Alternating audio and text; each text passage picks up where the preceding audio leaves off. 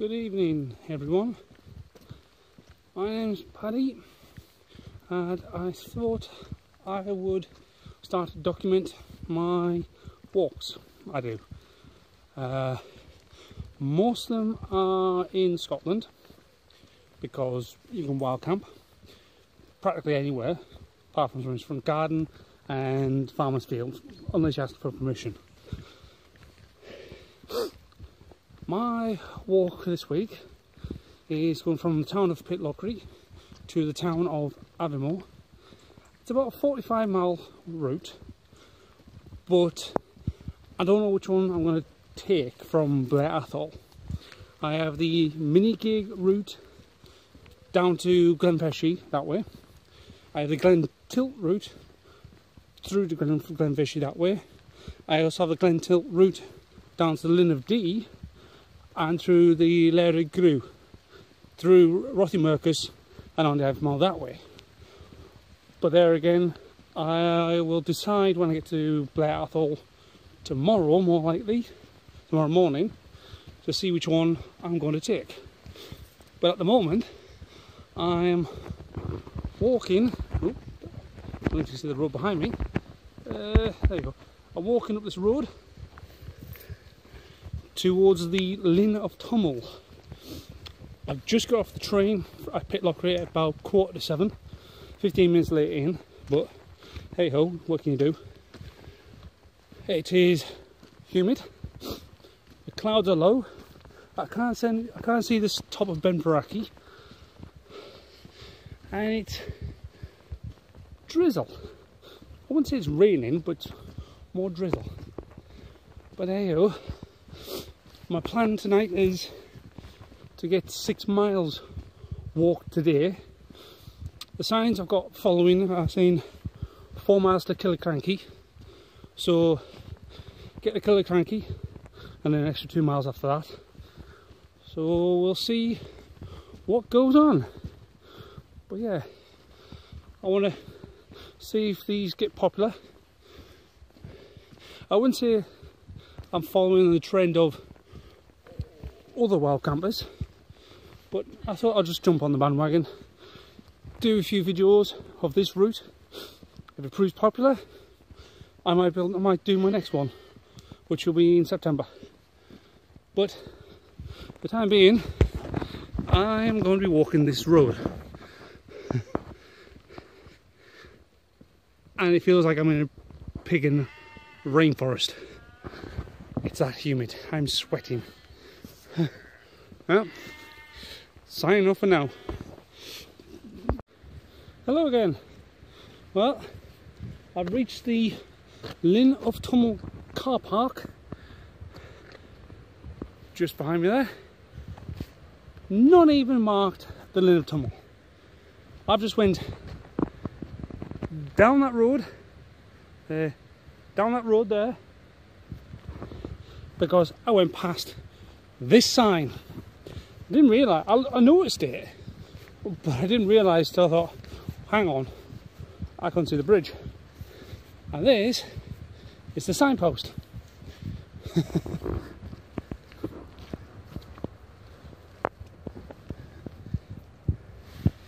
that way, but on this side, it's missing. This is supposed to be from there. So, I'm guessing down that path is where I've got to go. Well, the Coronation Bridge and of Tummel. So, where I go, carefully does it. I do have my walking poles, but I just don't have them out at the moment.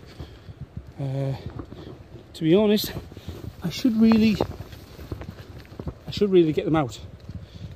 But I can make do without at the time being. Just gotta go steady as she goes. Oh yeah, this is the well-defined path alright. Uh, I'll turn you around so you can see what I'm on about. There you go, one well-defined path. I don't know if you can hear that, that roar in the background. Sorry, I'm getting slightly wet here. But that sounds like the Linn of Tummel, which is basically it's a stream of water. Cool, blimey. There's a stream of water going up some rocks, I think. So, come with me and I'll show you Linn of Tummel and see if I can find that Coronation Bridge. Well, sorry about that. I'm down here at Linn of Tummel now. Uh, there you go. Wow, that is some torrent of water. and it's loud. Now around here somewhere is the bridge, the Coronation Bridge, which I think is up that way somewhere, I think. So, let's go find that bridge. Mother Nature at her finest. Just brilliant, just brilliant. Sorry if I sound like out of breath. That was tricky getting back up.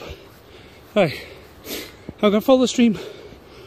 I'm to follow this river upstream a bit. Because by looks for this bridge is further upstream. So, back up this road I go. we will find the Coronation Bridge. As I ain't tripping all the way back to Pitlochry. Hallelujah. That's what I'm looking for. A green sign right there.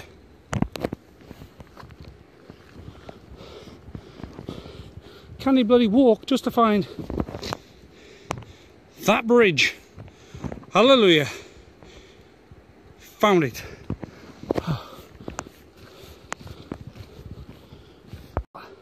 At last, I found the Coronation Bridge. And subscription at the top says, if you can't read it, this bridge was erected by the public subscription and was opened on the 22nd of June 1911, the coronation day of King George V. Hence, Coronation Bridge. And I'm glad I found it. All I've got to say about this bridge, and having about probably a 20 kilo pack on my back, it's moving a bit. Quite a bit.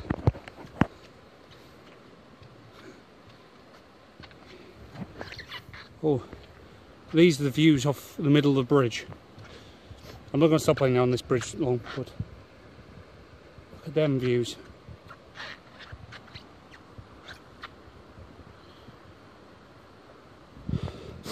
Well, Killiecrankie, here I come.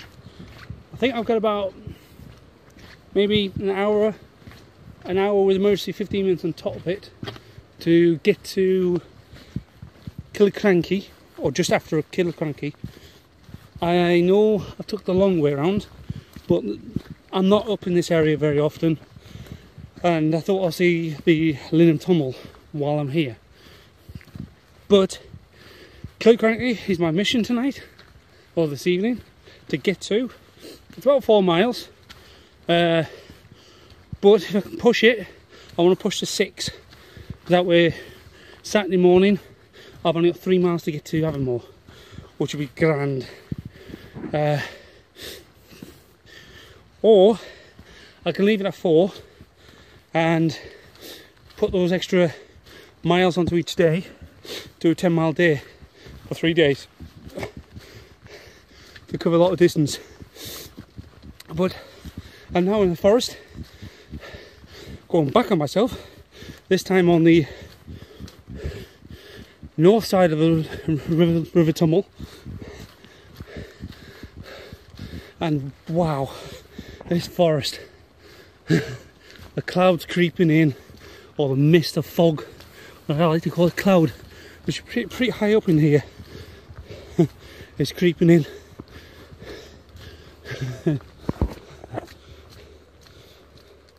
I don't know if my phone can pick it up properly, but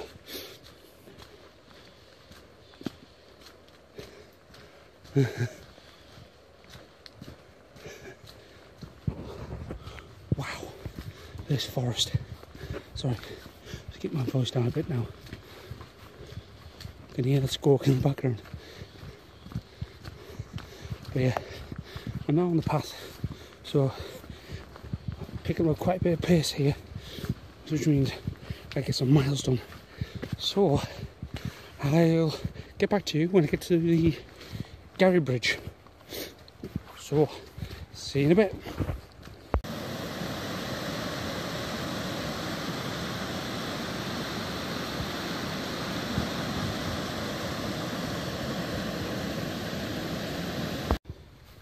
I'm back. Not quite at the Garry Bridge yet, but I'm now following the River Garry, which is just to my right. Uh, it's in full spate because of all the crappy weather we've had. Sorry if it's a bit dark in here. Uh, I'm still walking through a bit of woodland.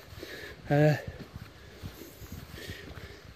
I'm just trying to cover as much ground as I can at a, a reasonable pace without trying to kill myself. Because probably about 20 minutes ago, I was coming down off the part of the path and I just slipped. Luckily, there was a fence and I grabbed hold of the fence. Not luckily, I've jarred my right knee, uh, but I've walked it off and it's not paining me, so which is good. So, uh, I say, I'm gonna power on and get to Killiecrankie get as far as I can up this way to Blair Atholl. It is warm and humid. You probably can see me, yeah, sweating like mad here.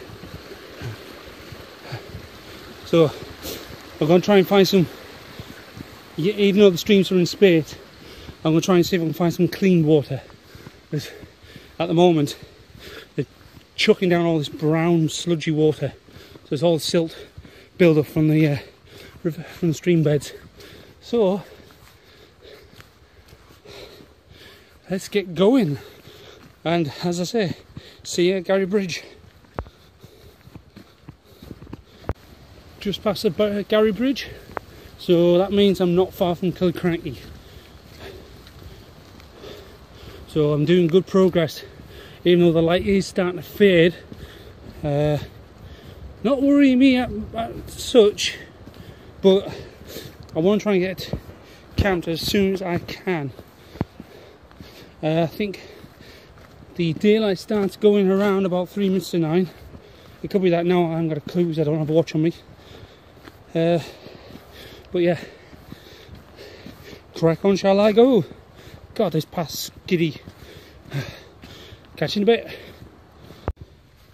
I'm back. Not quite at the Garry Bridge yet, but I'm now following the River Garry, which is just to my right.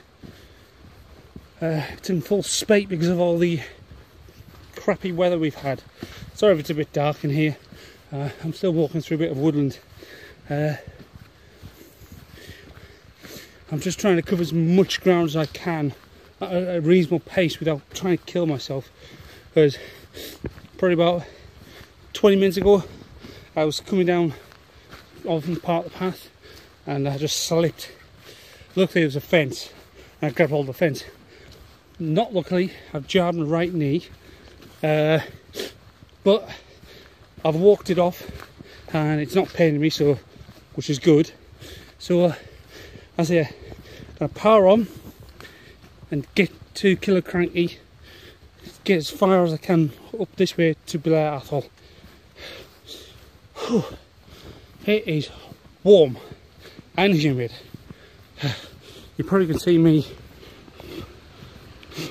yeah, sweating like mad here. So I'm going to try and find some, even though the streams are in spate, I'm going to try and see if I can find some clean water at the moment they're chucking down all this brown sludgy water. So it's all silt build up from the uh, river from the stream beds. So let's get going. And as I say see you at Garry Bridge. Just past the Garry Bridge. So that means I'm not far from Killiecrankie so I'm doing good progress even though the light is starting to fade. Uh, not worrying me at, at such, but I want to try and get camped as soon as I can. Uh, I think the daylight starts going around about three minutes to nine. It could be that now I haven't got a clue because I don't have a watch on me. Uh, but yeah, crack on shall I go? God, this path's giddy. Catching a bit. There we go, Killiecrankie, one mile. Booyah! Let's go. oh, before I go, oh, fucking two seconds. Before I go, sorry about that, this cycle just scared shit out of me. Before I go, I thought I'd share this time with you. Hey, that's good to know about that bridge.